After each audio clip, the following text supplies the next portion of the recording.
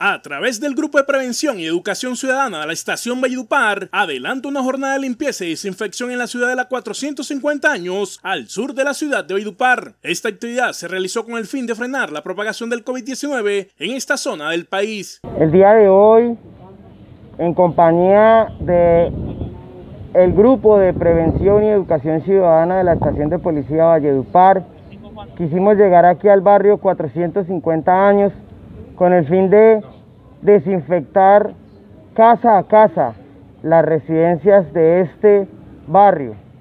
Quiero darle las gracias a esas personas que nos permitieron ingresar a sus residencias a desinfectar cada una de sus habitaciones, sus alcobas. Y de una vez recordarles que este fin de semana tenemos toque de queda.